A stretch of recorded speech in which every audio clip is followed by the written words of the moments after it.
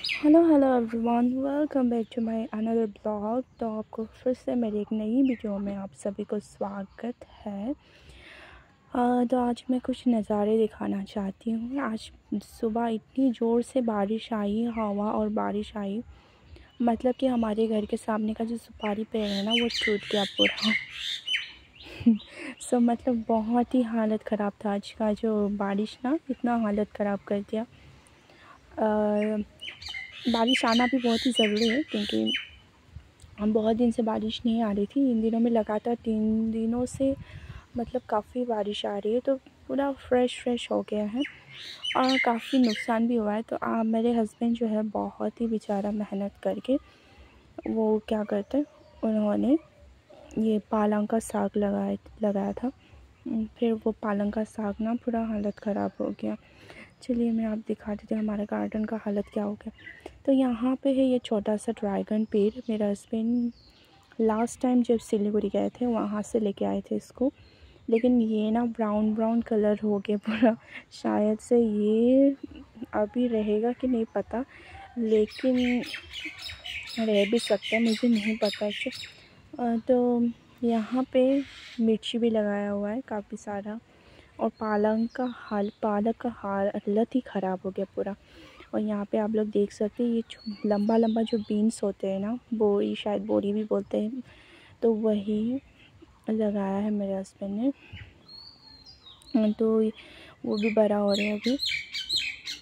और यहाँ पे छोटा सा धनिया लोकल धनिया है ये हम लोग का।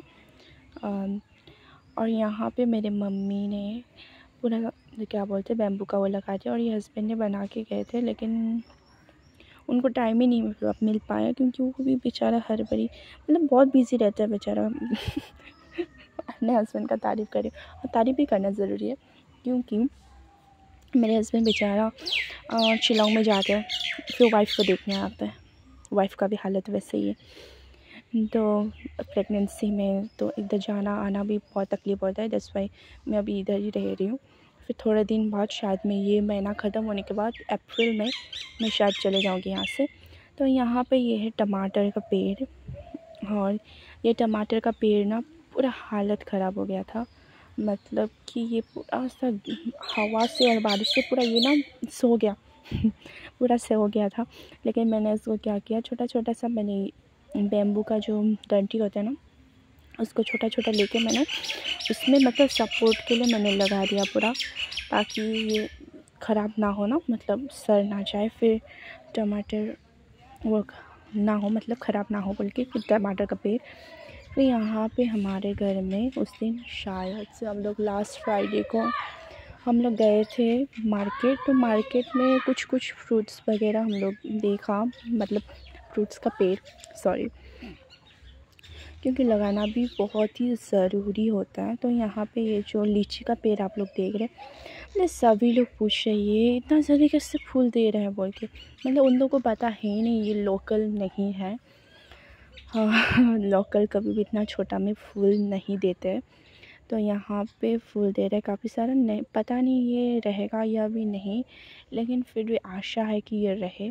और यहाँ पे हमारा बड़ा सा करी पत्ता, इसको लगाया नहीं अपना से उगा है।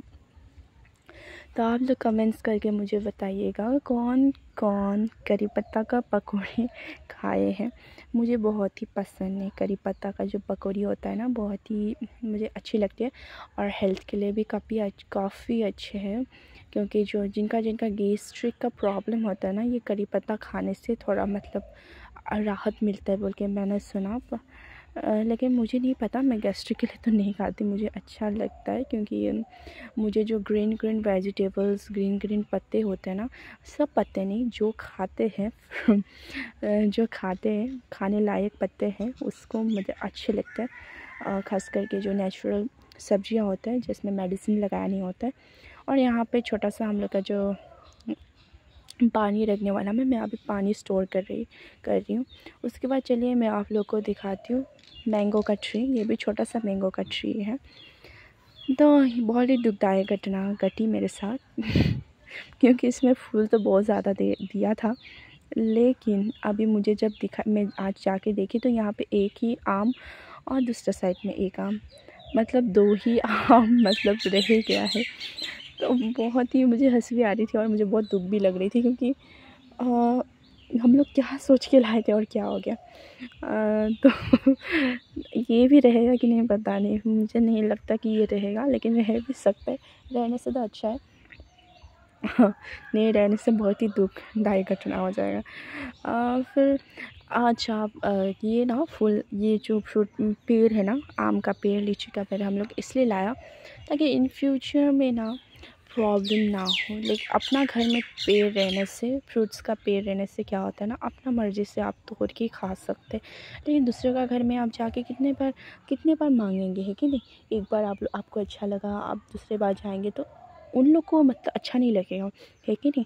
तो यहाँ पे हम लोग का घर में ही है, सामने में मतलब हम लोग का घर का जो लोकल आम है, ये भी काफ़ी सारे फूल दे रहे और उसके साइड में है तेज पत्ता पता नहीं आप लोग क्या कहते हैं, लेकिन हम लोग बोलते हैं तेज पत्ता ये तेज पत्ता जो है, मेरा पापा लगा के गए थे तो ये बहुत ही सुगंधित है। और आप लोग देख ही सकते हैं कि हालत क्या होके रखा है। और मतलब बारिश से पूरा हालत ही ख़राब हो के रखा है। तो अभी थोड़ा थोड़ा धूप दे रही मैं इसलिए सोचा कि आप लोग से भी शेयर करूँ कि बारिश के बाद क्या हालत है मतलब हम लोग का गाँव गाँव का। आ, तो उसके बाद मैं आप लोग को दिखा दी आप लोग देख ही सकते जो पेड़ फूल पौधे हैं ना वो बहुत ही फ्रेश और एकदम हरा भरा लग रही है, है कि नहीं?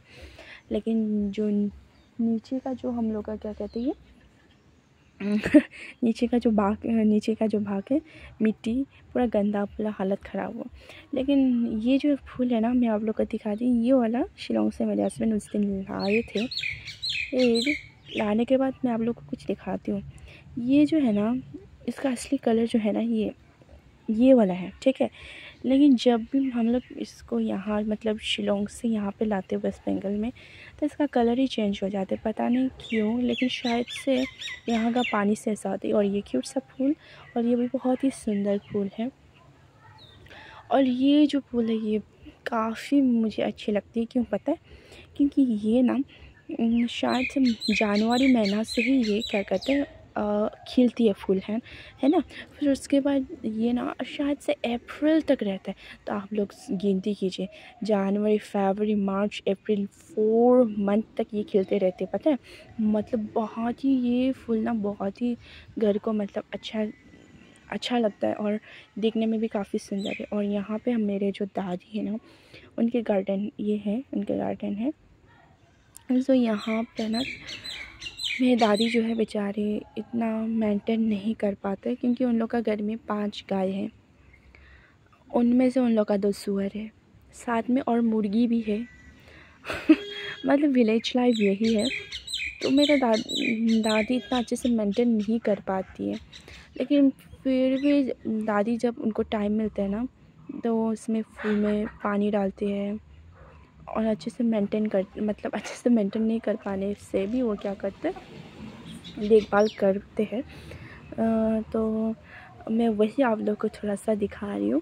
अगर आप लोग को मेरे मतलब ये आज का वीडियो अच्छे लगे तो प्लीज़ मेरे मेरे सॉरी चैनल को नहीं, मेरे वीडियो को लाइक कीजिएगा और कमेंट्स भी कीजिएगा। कैसा लगा आज का वीडियो आप सबको? So thank you for watching